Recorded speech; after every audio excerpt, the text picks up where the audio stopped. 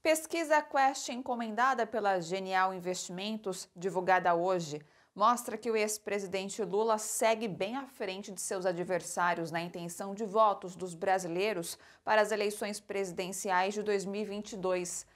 Lula tem 46% dos votos e é líder isolado na simulação de primeiro turno. O nível de confiança é de 95% e a margem de erro é de 3 pontos percentuais para mais ou para menos. Enquanto Lula tem 46% das intenções de votos, Jair Bolsonaro aparece em segundo, com 29%. O ex-presidente também vence os cenários pesquisados para o segundo turno.